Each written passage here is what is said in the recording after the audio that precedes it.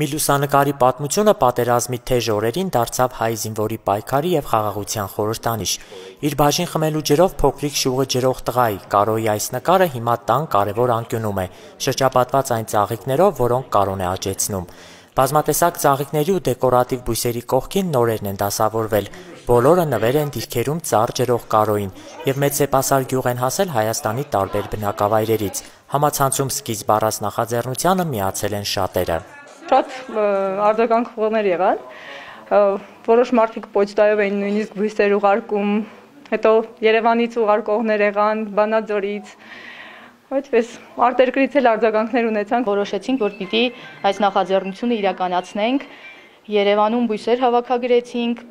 բերեցինք, հասցրեցինք Գյումրի, Անակնկալներից մեկն էլ բնությունն էր մատուցել։ Արագիլը վերադարձել էր ու Կարոյենց տան մոտ իր բույնն էր նորոգել։ 9-րդ բարդ վիրահատությունից հետո Կարոն էլ վերադարձավ տուն։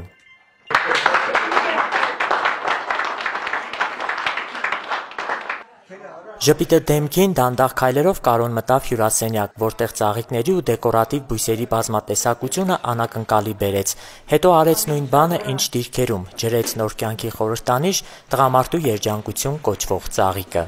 Հրաձ է, չէ։ Կարևոր չէ դու ջրի ռիսկով, այդպես ինչքան հզոր է լիքը հիշեց Կարոն նորից հիշեց այն պահը, երբ Հորադիսի դիրքերում տեսավ ծառի փոքրիկ շիվն ու իր բաժին ջրով ջրեց չորությունից ճակճկած կրակահերտերի տակ մնացած ծառի փոքրիկ շիվը, իսկ պահը իրենից թաքուն հավերժացրել է զինակից ընկերը։ Ծառը ջրեցինք, թողեցինք ադրբեջանցից։ Հայցել եմ որ լավ տիրություն ունեն, եկե տեսել եմ մի հատ ճյուղ է փոգած վրից։ Եվ սա եղավ վերջին լուսանկարը Արցախի դիրքերում։ Հոկտեմբերի 19-ի Չարաբաստիկ օրվա մասին խոսել չի ուզում։ 22 զինակիցներից այրվող մեքենայից հրաշքով փրկված մեկն է։ Սամանապահ զորքերի ծառայող ընկերներից ողջ են մնացել 3-ը։ Կարոյին շատերն անունով չեն ճանաչում։ Հիվանդանոցում եւս նրան բոլորը դիմել են ծառ ջրող տղա։ Ծառ ջրող տղա այցև գիտեն, ուրիշ ուրիշ ոչ աննս գիտեն, ոչ ազգաննս։ Եცև ճանչը։ Դադել հիշում է դժվար տանել այդ պահը մանավանդ որ մեկը հորակրոշ տեղեն է, մեկն էլ իրա մտերիմ ընկերներն են, մյուսներն են։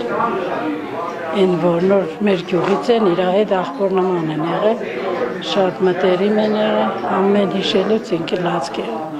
Այս 6 ամիսների ընթացքում մայրը Տիկին Շուշանը անցել է բոլոր դժվարությունների ճանապարհով, օգնել որդուն հաղթահարել դրանք։ Ասում է երախտապարտ է այն բժիշկներին ու բուժանձնակազմին, որոնք երկրորդ կյանք են տվել իր որդուն։ Կարոյի նման եւ մնացած տղաների հույսով այս մադղաշ երեխեքը ով ծնվել է, այս պատերազմի ժամանակ ծնված երեխեքն են, բոլորը հերոսներ են, աբագայի հերոսներն են, որոնք այս հողի եւ հայրենիքի համար պետք է պայքարեն։ Ինը ծանր վիրահատություններից հետո դեռ վերքերը դժվարությամբ են ապակինվում, ցավերն էլ հանգիստ չեն տալիս։ Համբերությունն ու կամքը անդավաճան են։ Կարոն ապակինվելուց հետո պատրաստ է ծառայության վերադառնալ, բայց առաջին հերթին ընտանիք է կազմելու։ Կեսկատակ էլ ասում է, շատ երեխաներ է ունենալու։ Երկու աղջիկ, 7 տղա հերիք է նորմալ։ Հա, նորմալ մնացել է որ գտնենք այն աղջկան, ով որ այդ պայմաններին համաձայնել է։ Վերադարձը տուն այժմ կարճ ժամանակով է, հերթական վիրահատությունն է սպասվում, հետո վերականգնողական բուժումը հայրենիքի պաշտպանի տանը, իսկ իր սեփական տունը վերանորոգելու գործերը անավարտ է թողել պատերազմը։ Ալեքսանդր Սարգսյան, Վահագն Վարակյան, Հորիզոն